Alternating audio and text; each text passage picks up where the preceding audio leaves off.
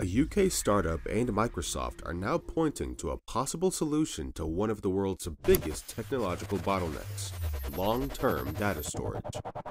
The UK startup is SPhotonix, which has developed a 5 inch glass based memory crystal that stores digital information inside fused silica glass using femtosecond lasers.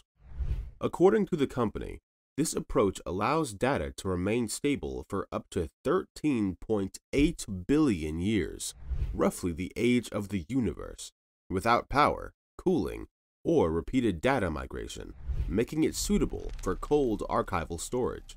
What gives this claim real weight is that Microsoft has been working on the same concept for years. Microsoft began its glass storage research around 2016 under its Project Silica initiative. Since then, the company has publicly demonstrated data written into quartz glass surviving extreme heat, water immersion, scratches, and electromagnetic interference, while remaining readable long after traditional hard drives or tape would fail. When a university spinout and a trillion dollar corporation independently arrive at the same solution, it usually means the current system is breaking. And it is. Right now, the world is drowning in data that nobody wants to delete. Governments, hospitals, banks, research labs, cloud platforms, everyone keeps everything. Studies show that 60 to 80% of all global data is cold data. That's rarely accessed, but it must never be lost. The problem is that the technologies used to store this data were never designed for performance. Hard drives fail often within five years in data center conditions. Tape lasts longer, but it still degrades. When that happens, the data has to be copied to new media, then copied again and again. Over decades, this endless migration cycle burns massive amounts of energy, hardware, and money, just to keep unchanged data alive.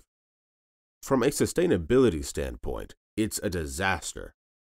This is the reason both SPhotonix and Microsoft are betting on glass. SPhotonix' claim is the more aggressive and more shocking one. The company says its 5D glass memory crystal technology has moved beyond the lab and will be ready for real data center pilots within two years. According to SPhotonix, a 5 inch disk of fused silica glass can store up to 360 terabytes of data using a femtosecond laser. Once written, that data requires no power, no cooling, and no periodic rewriting. It simply sits inside the glass. Then comes the claim that sounds impossible. SPhotonix says the data can remain stable for 13.8 billion years. That number isn't a marketing hype pulled out of thin air. It comes from material science. Fused silica glass has no known internal decay mechanism at room temperature. It doesn't demagnetize, it doesn't leak charge, it doesn't chemically degrade under normal conditions. If the glass remains physically intact, if it isn't shattered, melted, or lost, the nanoscale structures written inside should remain unchanged for timescales comparable to the age of the universe. That's why SPhotonix describes its storage as write once, store forever. The technology behind this is called five-dimensional optical data storage. Data is written inside the glass as tiny nanostructures known as voxels. Each voxel has a three-dimensional position, x, y, and z, but it also has an orientation and an optical intensity. Those five independent parameters allow a huge amount of information to be encoded into a very small physical volume. Reading the data back involves shining a polarized light through the glass and using optical systems to detect how those nanostructures interact with the light. Software then reconstructs the original data. Because the information is stored as physical structure rather than magnetic orientation or electrical charge, it is naturally resistant to heat, radiation, water, and electromagnetic interference. SPhotonix did not invent this science overnight. The company was founded in 2024 as a spinout from the University of Southampton, where researchers have been developing this technology for more than a decade. In 2013, the first successful 5D data recording in glass was demonstrated. In 2018, The technology gained global attention when a five dimensional data crystal was sent into space aboard SpaceX's Falcon Heavy launch, the same mission that carried Elon Musk's Tesla Roadster. That experiment wasn't about storage products, it was about durability. Now, SPhotonix says it's ready to commercialize. Its current prototypes achieve write speeds of around 4 megabytes per second and read speeds of roughly 30 megabytes per second. By modern standards, that's slow, and SPhotonix admits it. But the company's argument is that cold storage doesn't need speed, it needs reliability, it needs longevity. For archival data, access latencies of several seconds are acceptable if the data is guaranteed to survive. SPhotonix has published a roadmap targeting 500 megabytes per second sustained read and write speeds within 3 to 4 years. Early system costs are estimated at about $30,000 for a writer and $6,000 for a reader. The company has raised around $4.5 million so far and says it's moving from technology readiness level 5 to level 6, meaning it's transitioning from controlled lab validation to real operational environments. While the UK startup is pushing aggressively toward the market, Microsoft has been working on the same idea from a very different angle, and for much longer. Microsoft's Project Silica began around 2016 inside Microsoft Research, driven by a long-term concern that magnetic storage simply could not scale sustainably with the growth of cloud data. From the start, Project Silica was designed not as a standalone storage experiment, but as a cloud-native archival system built specifically for hyperscale data centers. Project Silica stores data by using ultra-fast femtosecond lasers to write permanent information deep inside quartz glass, creating nanoscale structures that encode data volumetrically rather than on a surface. The data is then read back using polarization-sensitive optical microscopy and decoded through software pipelines that increasingly rely on machine learning models to improve accuracy and correct microscopic variations. Microsoft has publicly demonstrated that data stored this way can survive boiling temperatures, extreme heat, full water immersion, surface scratches, radiation exposure, and electromagnetic pulses, while remaining readable long after hard drives or magnetic tape would fail. Microsoft went a step further to prove this wasn't just a laboratory curiosity. In a widely cited real-world test, the company partnered with Warner Bros. to store a full-length Hollywood movie on glass. The film was Superman, selected specifically because it represents a large production-grade dataset rather than a synthetic test file. Microsoft encoded the entire movie into a quartz glass plate, stored it, and later retrieved it with no data loss. This demonstration showed that Project Silica could handle real archival workloads, not just small research samples. But what truly separates Microsoft's approach is system-level design.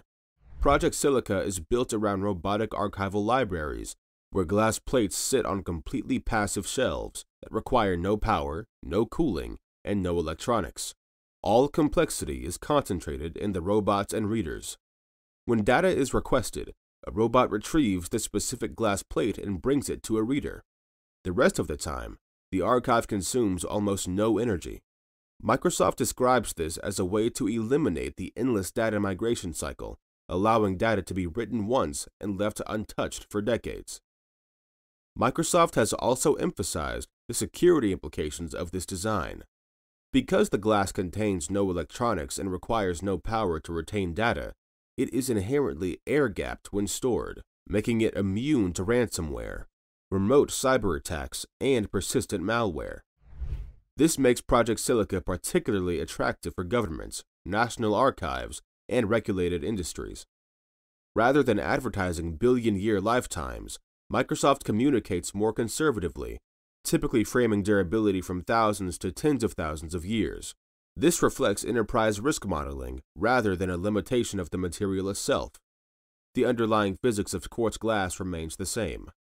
Project Silica is intended to become a future component of Azure's cold and archival storage tiers, where customers interact only with cloud APIs, while the storage layer quietly shifts from magnetic media to glass. This sets up a quiet but real competition. Microsoft has scale, capital, and infrastructure. It already put total investment well north of $300 million, potentially approaching half a billion dollars over the project's lifetime. So, if glass storage becomes a mainstream cloud service, Microsoft is in a prime position to deliver it. SPhotonix, however, is not trying to build a cloud storage service. Its strategy is to license the glass media and optical read-write platform into existing data center architectures. That makes it a potential infrastructure supplier rather than a cloud competitor, a key difference from Microsoft's approach. SPhotonix is also not alone in this space.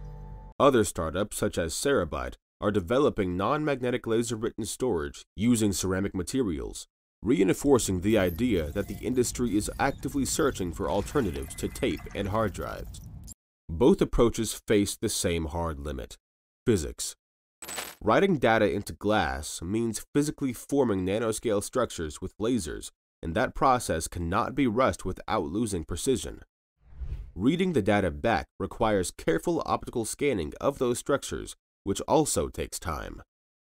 Faster compute can help with decoding, but it cannot remove the need to physically write and scan the glass. This is why glass storage will never be fast or interactive like SSDs. It is designed to trade speed for durability, energy, efficiency, and permanence, making it infrastructure for long-term archives, not everyday use. And that trade-off is exactly the point. Glass storage is not meant to replace SSDs or hard drives, it is meant to replace tape and long-term magnetic archives, the most invisible, yet most critical layer of the digital world. The next two years will determine whether the UK startup's aggressive push reaches development before the tech giant's careful, system-level rollout. Either way, the implication is the same.